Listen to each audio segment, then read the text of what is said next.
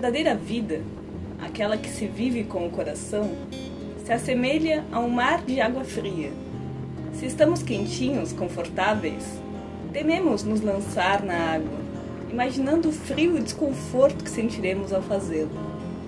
Mas ao mesmo tempo, um outro lado nosso convida insistentemente para que nos lancemos naquele azul infinito que brilha lindamente, acompanhado da luz solar.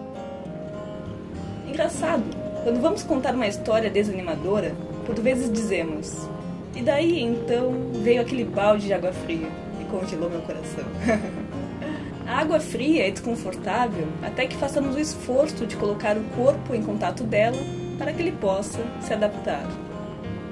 Inúmeros estudos e relatos apontam os benefícios físicos do banho com água fria. Estimula a imunidade, a disposição, a circulação sanguínea. Em resumo, nos fortalece.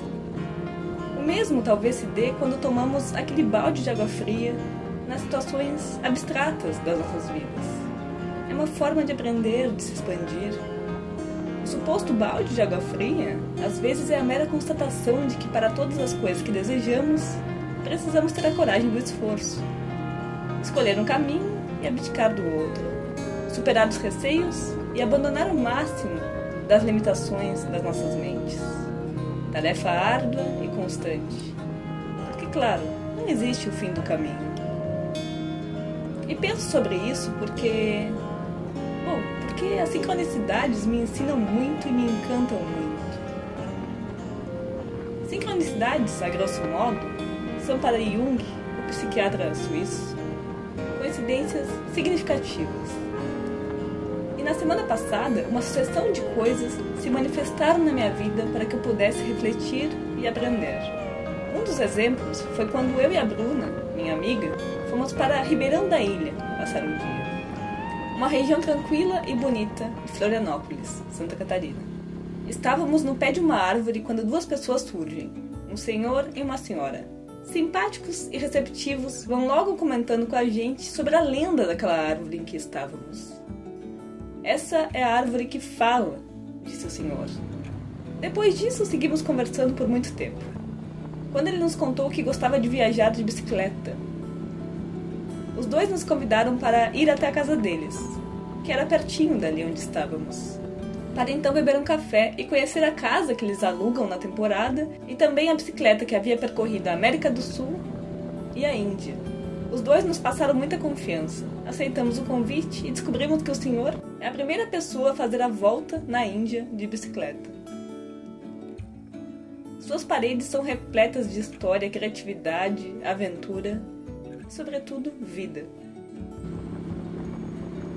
Ele também tem um canal aqui no YouTube, vou deixar linkado aí para vocês.